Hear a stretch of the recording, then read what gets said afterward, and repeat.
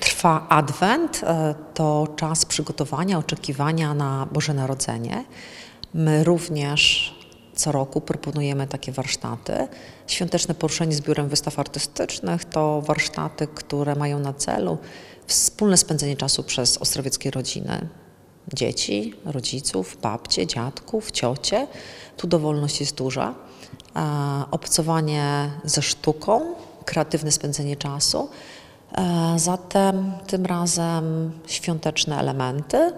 Jedno zadanie to będzie wykonanie pięknego świątecznego lampionu, a drugie niech pozostanie niespodzianką, ale myślę, że się wszystkim spodoba.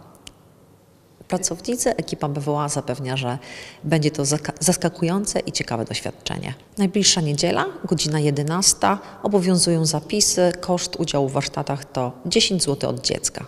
Zapraszamy serdecznie.